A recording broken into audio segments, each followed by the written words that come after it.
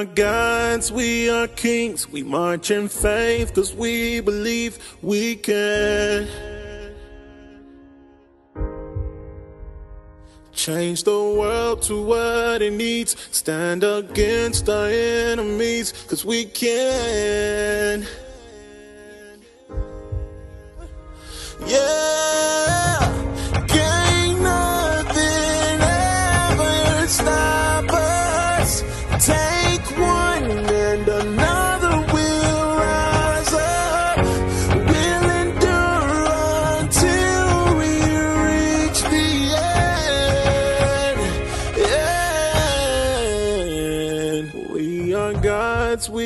kings, demanding change cause we believe we can.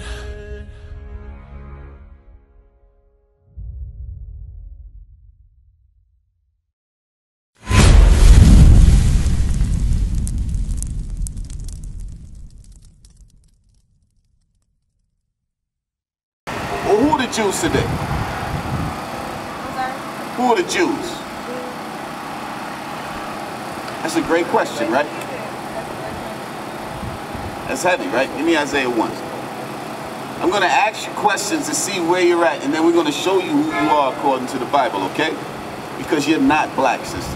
Right. You're not African American sisters. Right. The so-called black, Hispanics, and Native Americans, and we say so-called because you're not black. You are the Israelites according to the Bible. Right. That's right. That's heavy, and that's something that you need to know. You understand? Read. The book of Isaiah, chapter 1 and verse 3. Go ahead. No. The oh. ox knoweth his owner. So the Most High is saying that the ox knows his owner. He knows who his God is. He knows what who provides for. him, Right? Read. and the ass is master's crib. And the jackass, the donkey, knows where his homeland is. He knows where his master's crib is. Read. but Israel does not know. Saying that the Israelites do not know who they are, who their God is, where their homeland is. Right. Read. My people Stop. He said, my people. God is saying that his people, his chosen people, does what? does not consider. They don't Right. know and they do not consider who they are.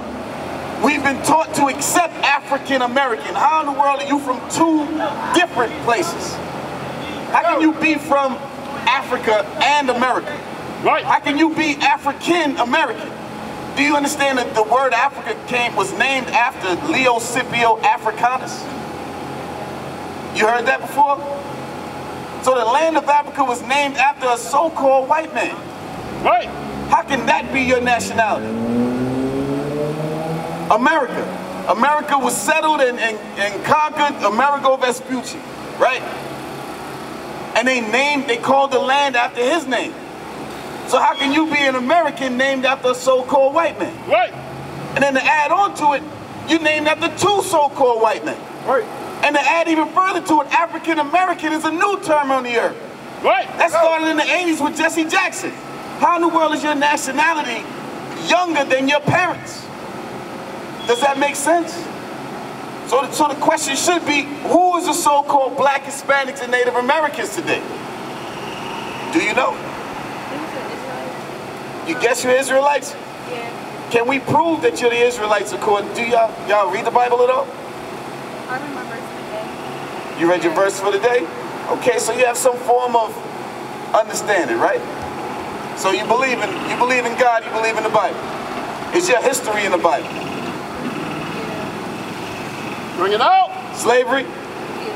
So let me show you how we know that you're the Israelites, okay? Oh. Deuteronomy chapter 28, verse 1. ahead. And it shall come to pass, Uh-huh. if thou shalt hearken diligently unto the voice of the Lord thy God. What we're bringing out is the Bible is a handbook. It's a handbook to turn the so-called black Hispanics and Native Americans into gods on this earth here. It's a handbook to show you how to rule, show you how to run your household, how to run, how are you supposed to move in your community. Right. It's more than just a book where you, you make you feel good and you get your verse of the day, right? You Right. can read that to try and get some type of inspiration and keep going on throughout the day, right? It, yes, so the Bible is for that, but it's more than just that. This is your historical records of the so-called black Hispanics and Native Americans. Right. Your foreparents wrote this book Right. Right. for you. Read it again. And it shall come to pass, Uh-huh. if thou shalt hearken diligently unto the voice of the Lord thy God, Go ahead. to observe and to do all his commandments which I command thee this day, that the Lord thy God will set thee on high above all nations on the earth. So we we constantly looking for answers in our community. We're constantly looking for a solution to the issues in our community. The Most High God says all we have to do is follow His laws, statutes, and commandments, and He'll set you on high above all nations on the earth. You don't have to worry about the issues that we're worrying about now. What's some of the issues going on in our community today? You're wrong. Huh? Violence? Go ahead. What about you? Drug. Drug drug addiction? What about you? Gang gang membership, right? What else? Um, politics. Disease. Right. Look at look at what's going and, and what do we turn to for, for a solution to our issues? We got we got little signs up here that says Bernie. BernieSanders.com. What are you registering to vote? You registered already? Yeah. You did too? We'll deal with that in a second. it. Matter of fact, we need to deal with that now. I'm so sorry. I have a look at the. You got a homework assignment that you need to finish. Let me show you who you are real quick, okay? Deuteronomy 20. Let's get straight to the point. Because how do we know that the so-called black Hispanics and Native Americans are the Israelites, right? I'm going to show you this real quick and then you can go ahead and do your homework. But your homework is not more important than this. This is the most important homework that you can do right now. Because you're not, Right. it's not due today, is it? That's good, before 12. Before 12? All right, read that. 28, give me, give me 68. The book of Deuteronomy, chapter 28 and verse 68. Because how did we get here in this country? And it's slave ship. On a slave ship, right? What about you? Sis? how did we get here to this country? Slave ship? Slave ship, right? Read that. It's The slave book ships in the of Bible. Deuteronomy, Read. Chapter 28, verse 68. Uh-huh. And the Lord shall bring thee into Egypt again with ships. It says the Lord is going to bring the Israelites into Egypt again with ships. What you're going to find out is Egypt is synonymous with bondage, with slavery. It's a Greek word deriving from Egyptos, which means bondage. Right. So it says the Lord is going to send the Israelites into Egypt, into slavery again with ships. What nation of people went into slavery on slave ships? Black people, right? Your foreparents endured that thing. Right. That's the only reason why we're standing here now. Is because your foreparents had to deal with the torture. Because that's all it was, was torture. The person next to you dying right next to you. The slave masters call you up there and he rapes you on the boat. You running around naked. They shoving food in your mouth. You're not trying to eat from them, but they shoving the food in your mouth, breaking your teeth. Those things our foreparents endured. Right. You watching your brothers and sisters getting thrown to the sharks. Right. A hundred million of our people died during that middle passage, the thing that we want to forget about. Right. The thing that doesn't come to our mind every time this Bible comes out and we got homework to do. Right. We have something better to do than to hear this Bible here. And not understand the cross that our family had to bear in order for us to be in the situation that we're in now. Right. And we got our enemies sending, putting signs up talking about vote for Bernie. Vote for them to keep us in this same cycle. Right. Read again from the top. The book of Deuteronomy, chapter 28, verse 68. Our people need to wake up. And the, So- go ahead. and the Lord shall bring thee into Egypt again with It ships. says God is going to bring the so-called black, Hispanic, and Native Americans into slavery again on slave ships. Because we did, we refuse to keep his laws, this is why it happened. Read. By the way whereof I spake unto thee, The same way Moses says it's going to happen. Read. thou shalt not see it no more again. We will never see our homeland, our motherland again. And they got us thinking that our motherland is Africa. Your motherland is not. What's what's the motherland? Come on, sis. What's the motherland? Greenland? Huh? Greenland. What happened? Oh, Greenland. Greenland? Yeah. What about you, sister? Has the homework done? You're thinking Africa, right?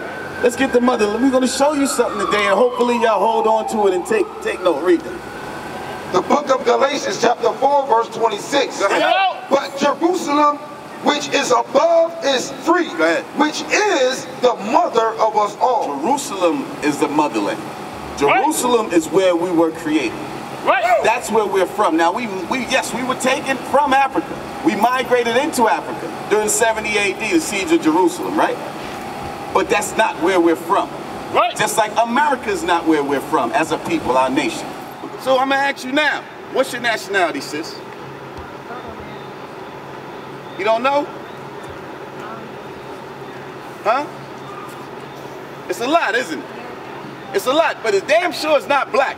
I, I, listen, if, if in all power that you have in yourself, never call yourself a black person ever again. Your, your socks are black. Your shoes are black. You're more than just a color in the crayon box. Right. Israel means that you're a prince that has power with God. Your, Hey, name, right. your name means something. You understand that?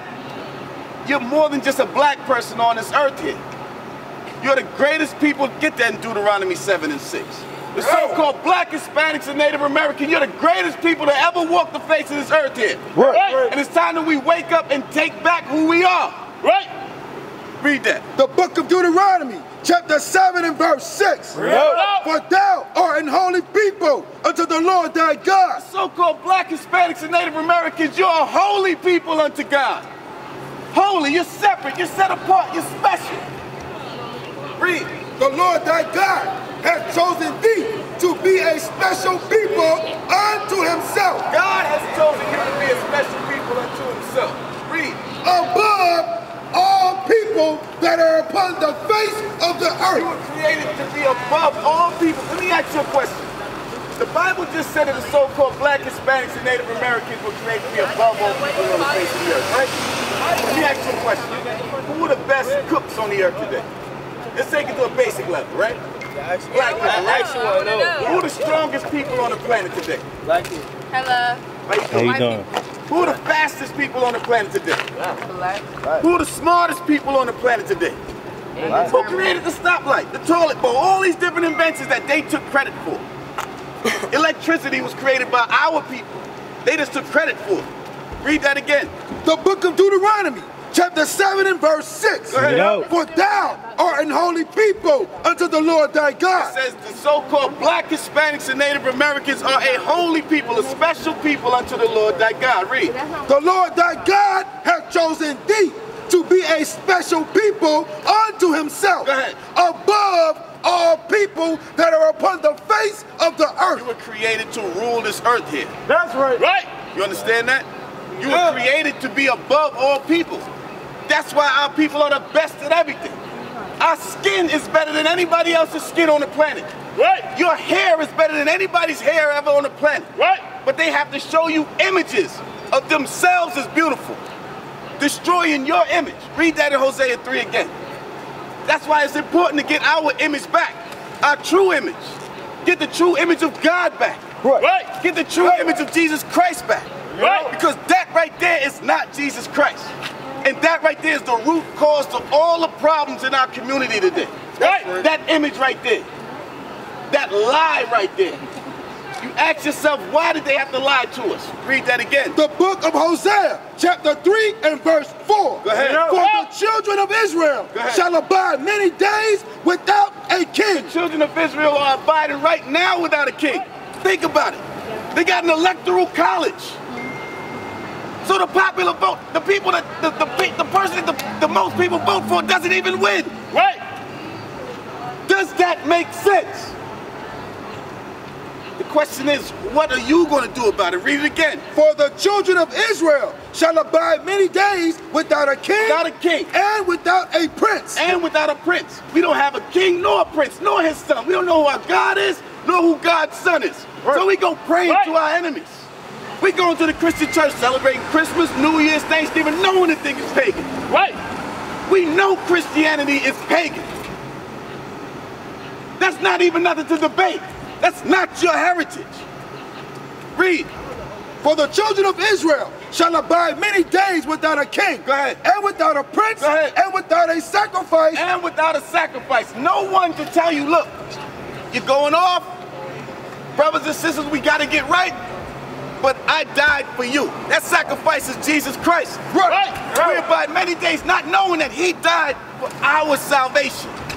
to get us out of the dunghill that we are in as a people today. Right. Right. To get us out into the low income houses, get us out of single parent households. You understand? To get us out of society with the most diseases and STDs.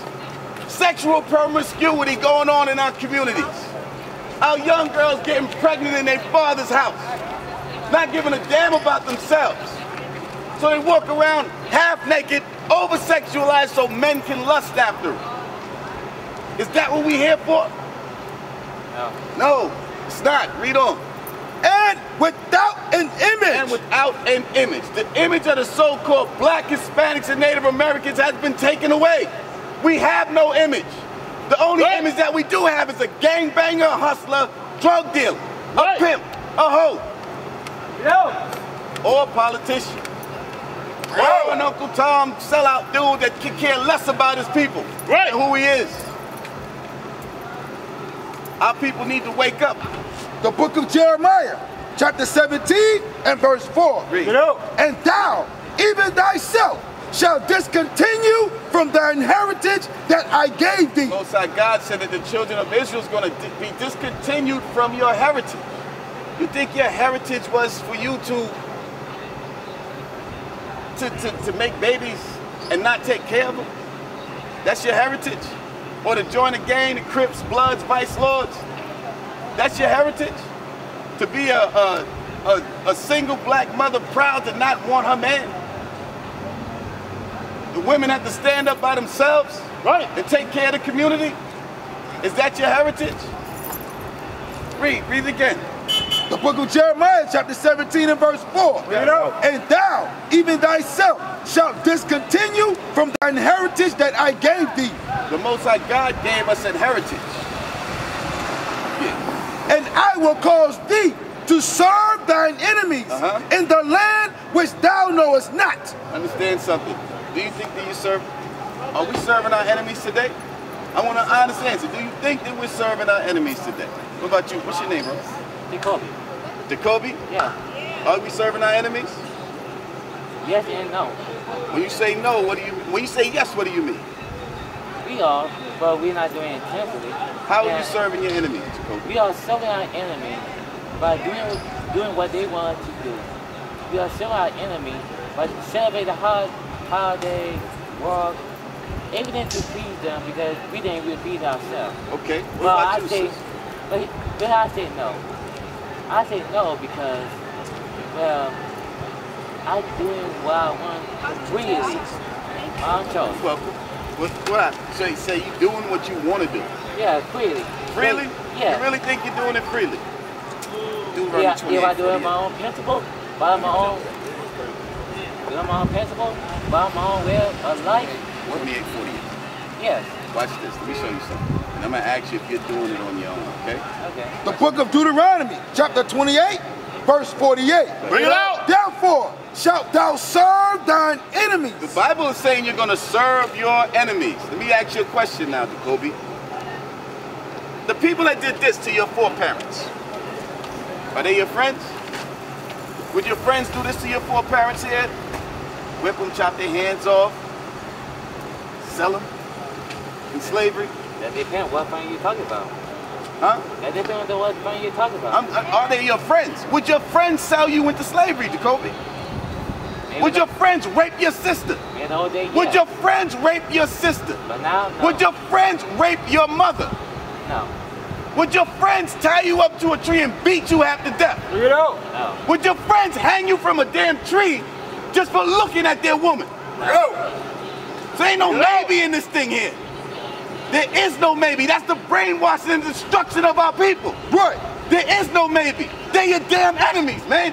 And we must start understanding that thing. Read it again. The book of Deuteronomy, chapter 28, verse 48. Go ahead. Therefore thou shalt serve thine enemies. You will serve your enemies, Jacoby. Read. Which the. Lord, which the Lord shall send against thee God sent your enemies against you to do what? in hunger, When you go get food now, who do you go to for your food? I don't know. I, I mostly do a takeout. Takeout, right? Who owns those restaurants? Mm, mostly Asian and Hispanic. Mostly Asians. Yeah, and Hispanic too. Where do they get the food from? The so-called enemies, yo, the white man owns that. No, no black person owns that thing. No, they don't. So when you go to eat, who do you get it from? Uh, I guess my enemy. That's right. Read on. Therefore shalt thou serve thine enemies, Uh-huh. which the Lord shall send against thee Go ahead. in hunger When you want and in thirst. When you want something to drink, your water bill. Who do you pay your water bill to? I guess my enemy. Not you guess. You need to know that, bro. Yes, my enemy. Your enemies. Right. When you need water, you got to go to your enemies. Guess what? If they feel like turning the water off right here on this campus right here, you all would be, be without water. And you'd have to go home or go someplace with water. Right. If they turn the water off in our community, we all will die. Look what they're doing in Flint, Michigan. Bring it out. They purposely contaminated the water there. Right. Purposely. And now them people are feeling the effects of that thing. Right. Dying. Being poisoned. And who's doing anything about it? Who cares about it? That's the problem with our people. We do not care. But if the police would come right now and shoot one of these brothers down in the street, then we want to march and rally. Right. Right. That's when things get real for our people. When we killing each other every day. And nobody gives a damn. Right. Read on. Therefore shalt thou serve thine enemies, Go ahead. which the Lord shall send against thee in hunger Go ahead. and in thirst Go ahead. and in If you gotta get your clothes, you gotta go to your enemy. Guess what? Your enemies is telling you what's fashionable to wear. Right. Right. Hate you have grown men wearing skinny jeans. Looking stupid.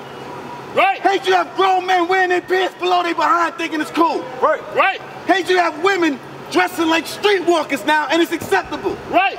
Because society accepts that thing. Society tells you how to dress. Right. Society tells you how to act.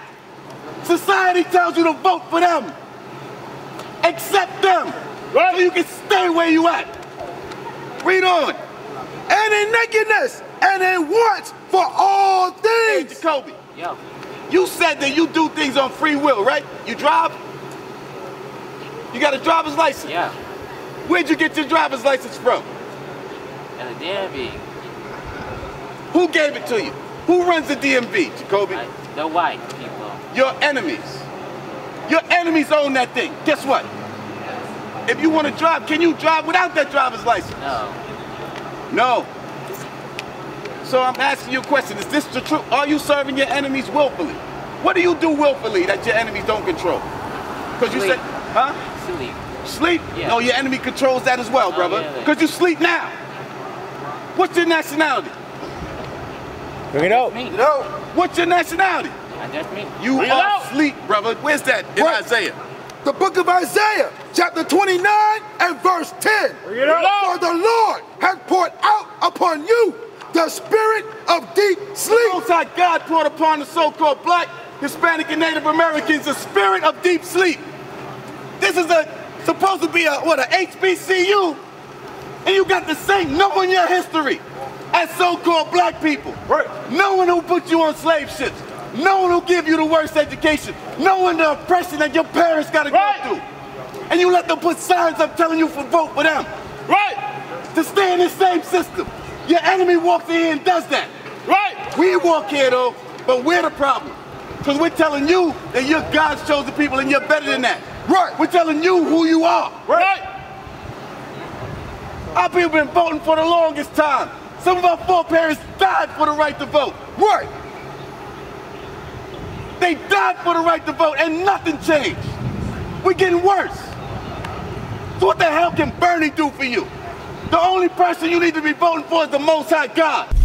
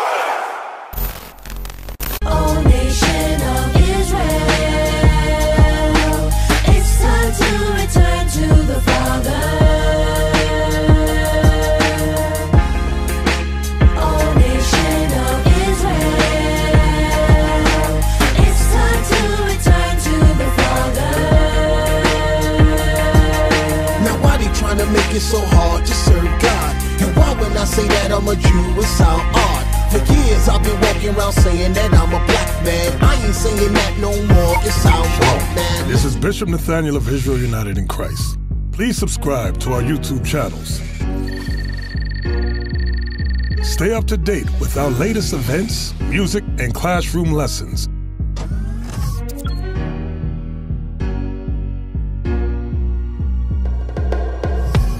IUIC plans to continue visiting different countries where this gospel has not been preached before. IUIC needs your help in pushing this truth.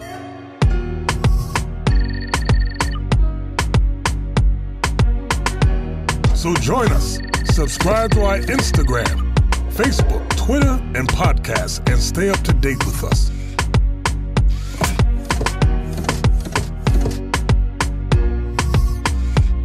For more information, please visit www.israelunite.org.